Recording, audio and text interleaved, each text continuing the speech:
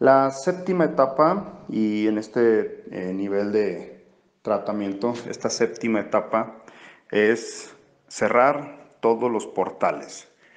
Y para esto se puede utilizar pues, los cortes eh, que, que hemos visto. Yo en lo personal uso mi propio corte. A mí no me gusta que me impongan cortes de otras personas.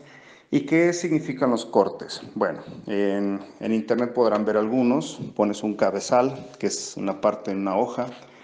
Pones las emociones, sentimientos o bien deseos positivos, los edificantes, los sentimientos para ti o para tu entorno. Puedes pedir por otras personas, pero tú eres la única y el único responsable de ti solamente.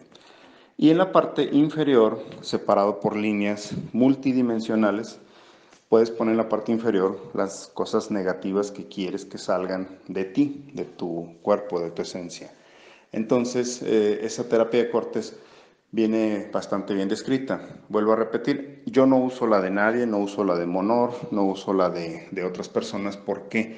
Porque probablemente muchas de esas sean ritualísticas y estén intencionadas por otras personas para otros fines. Yo utilizo lo mío, lo que me late. A veces hasta en la mente lo hago y destruyo, quemo, cancelo todo lo que me lastimó o lo que me provocó en el presente, pasado o futuro y vida paralela, todas esas cosas. Entonces, cerramos eso. Y otra cosa muy importante, debemos aprender a cerrar canalizaciones. Por ejemplo, en los sueños nos tratan de atrapar, queriendo tener siempre nuestro permiso.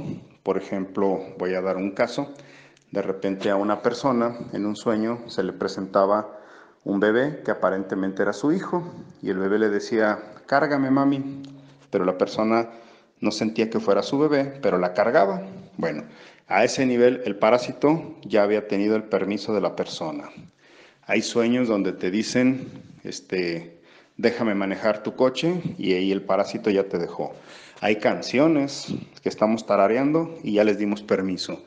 Y hay una cantidad impresionante de acciones por darles permiso en todo, en rituales y demás.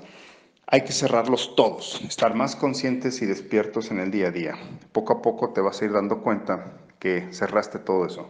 Y la energía que ahora se quedó para ti va a transmutar en salud, en buena estima, en riqueza, en muchísimo poder y sobre todo irán despertando nuevas, nuevas habilidades en tu cuerpo, siempre al beneficio de este planeta y de toda la humanidad en general para crear un estado simbiótico, un estado de equilibrio donde todos podamos compartir la energía del amor.